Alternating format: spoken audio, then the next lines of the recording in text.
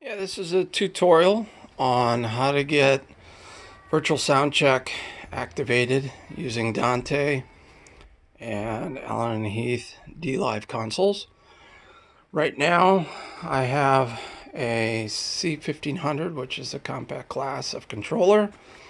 I have down here a DM0 and a DX168 just for some a couple of external inputs on channel 1 and 2. You see I have a MacBook Pro. And the other piece of hardware that's critical is I have a Dante sound card. It's a 64 by 64. You can see I'm connected with the yellow Ethernet cable. And that goes into this adapter that goes to Thunderbolt for my MacBook Pro. So that's pretty much the hardware side of things that I have. And as far as software goes, um, you're going to need a few pieces of software. Let's start with uh, called the Dante controller. And if you can see that, I have transmitters and receivers. That's kind of how the Dante controller works. Um, essentially, what I'm doing is I'm sending the output of the laptop, which is here, the transmit side of the MacBook Pro, channels 1 through 32 at the moment, uh, are going to the receivers of the Allen and Heath. So you can see as I minimize that. And then for recording purposes, I'm taking the transmitter of the Allen Heath and I'm patching it to the receiver of the MacBook Pro. So basically you're using in virtual sound check mode, which I am now, the MacBook Pro is playing 32 inputs through the Dante card into the Allen Heath. And then for recording purposes, you're sending 32 um, outputs from the Dante card to the MacBook Pro. So those are the two scenarios that I've basically configured it for. Now you can do 32 inputs at 96K or 64 inputs at 48K. So that's essentially the Dante controller and as more devices are on the network, they would show up here as transmitters and receivers. So the other piece of software that I have that is critical is Dante Virtual Sound Card. Now essentially it's a utility that runs and will continue to run. You configure the number of audio channels 32 by 32, 64 by 64, 16 by 16, 8 by 8. There's a latency time, which they said when you're using for recording purposes, 10 milliseconds are fine. If you're playing back live, you would want it shorter than that. And then the network interface, if you have more than uh, one NIC card, and then connection status. The IP address there, 169.254. Uh, those are auto assigned, so because I don't have a DHCP server, I just have a direct connection between the laptop and the Dante card. I don't have any way to assign IPs, so that one's defaults. So you don't need a router or a DHCP server for this to function. You just need the cabling and it will look for a DHCP server and if it doesn't see one, it'll automatically assign an IP, normally beginning with 169, and both devices will have a number that will be able to talk. So that's the way they communicate. And so the Dante sound card will just kind of run in the background. Once you launch it, you can see the stop button there. I could shut it off. And the other piece of software is your DAW or your workstation, which this can both record and play back. You can select as many tracks, I think, as you would need. Uh, this is Tracks Live. Uh, available at Waves website. Um, it was a free download, and they actually had a this session that you see playing here available for testing purposes, so I downloaded it so I had something to play with. And you see, I just got a loop going, so it constantly keeps playing back that section of track. And then for recording purposes, for each track, you just hit and that record enable button comes up, and that puts that in the record mode. And then when you hit the record button here, that would uh, put the session or, or actually record the tracks that are record enabled onto your laptop. So I'll disable those for the time being. And anyway, the other thing I wanted to say is that um, you want to, let me stop this for a second.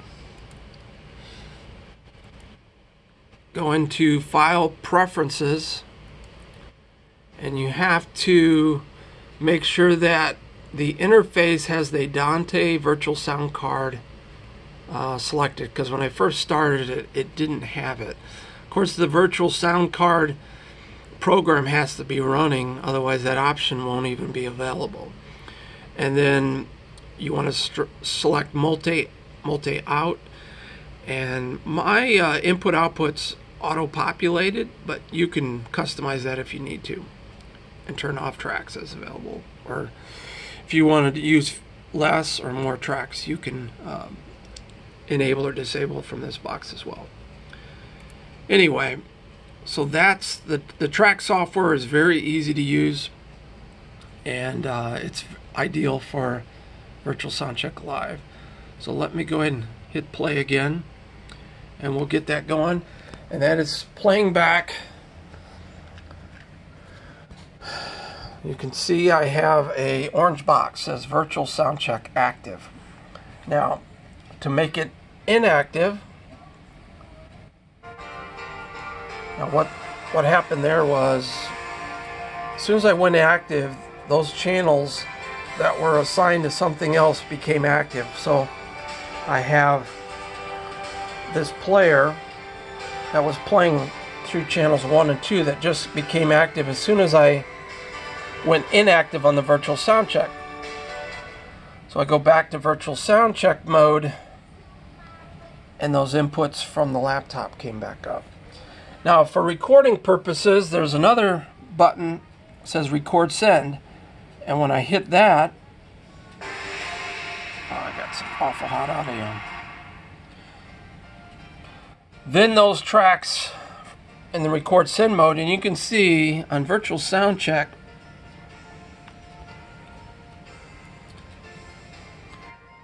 says 1 through 28, but I can only select 64. As soon as I get back 64, you'll see and just go unavailable. So basically that's how you select um, what channels are being sent for recording. And you can see it selects the Surface IO port 4, which is where the Dante card is plugged into. And uh, you, of course, you the the patching on the Allen Heath is astounding. So you can patch anything to send from any location. But I'm just using 1 through 32 uh, just to make it simple. And with the record send mode, you can see I've got um, in between songs, of course. All right, so channels one and two are active from this music player. And you can see I'm still playing, so I'm gonna stop this and show you how you go in record mode. So then, to make tracks recordable, you hit record enable, and you see that channels one and two are now active from channels one and two on the console. And you can see if I mute there, they're still active here. So all your muting functions for for local on the uh, console uh, are not disruptive on your record sends. So that's something you should know.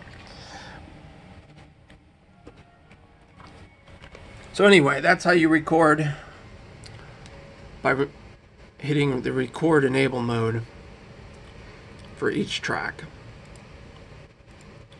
which I won't destroy this recording, but uh, I just wanted to show you how you bounce back between the two modes, record send and virtual sound check. Because if I if I disable record send or just go inactive, then essentially all your feeds will get interrupted and your software won't be receiving, your laptop won't be receiving any audio. Anyway, I hope this makes sense. I hope this illuminates the process a little bit more. more.